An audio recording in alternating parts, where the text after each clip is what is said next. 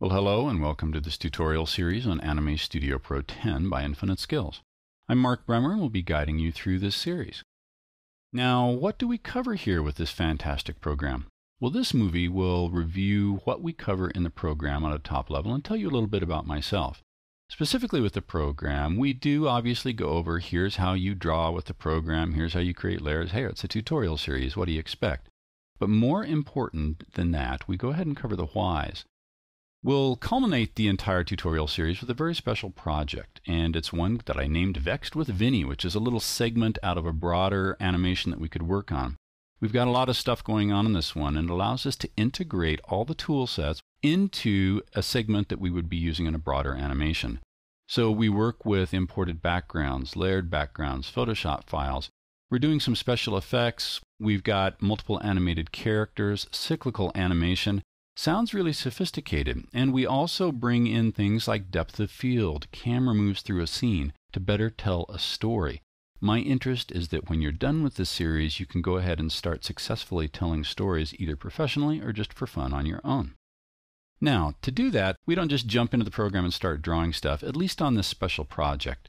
What I like to do is just make sure we kind of uh, future prevent things from going wrong. And the best way to do that is to spend just a few minutes sketching things out. Decide what goes into a scene, decide how we're going to build the scene, and go from there and work with it.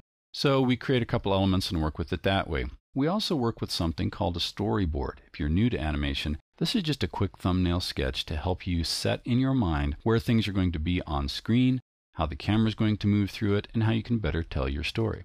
Really fast way to work. And then also, before we get into the character development, we do a little bit of style board work.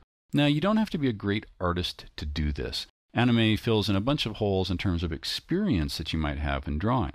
But doing some quick thumbnails like this helps you look at characters and decide, okay, I've got a character in three quarter view. How do I build it so that I can not only use it this time, but reuse it later on and change things easily if I need to? I like to cover all that material because, well, it's simply real world stuff. We go ahead and build out a character, and we do it as such so we can actually import him over and over into other animations that we may work on. We do build everything with the character with style, so if we need to make his suit look dirty or change the color, I can do it with a couple mouse clicks, and that's what this is about. Successfully creating scenes and items that you can work with and reuse over and over real easily. We also look at some of the fantastic tools that are built into Anime Studio Pro, like how to create reusable animations. Whether it's cyclical, something that repeats, whether we create expressions that we can control with dials and reuse over and over and over again. And finally, when we're working on the scene, there's a lot of special effects that go on that I speak to to help facilitate telling a story. In this case, it's kind of a divey little room that we've got going on. And we could draw the room in anime, but there's reasons I didn't here. It's to imitate an animation style created in the 1940s and 50s where there's detailed backgrounds with stylized animation going on in front. But I want people to know that there's a neon sign outside the window. I also want them to know that there's a television set blaring on the left off the screen, and so we create blue flickering light. All sorts of things like that, so that when it all comes together, we see things working successfully. An integration of drawn content inside anime along with imported content that we can work with. So, what else do we cover?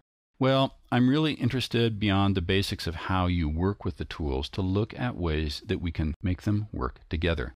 Anime does a bunch of cool stuff, and we cover things like how to do exploratory masking, hide things and reveal things in a scene, really important with the characters, drawing in 3D to save yourself time later on. We do cover rigging and constraints, things like that you'd expect, but rigging and best methods for different types of characters, different positions of characters, so you know how to work with them.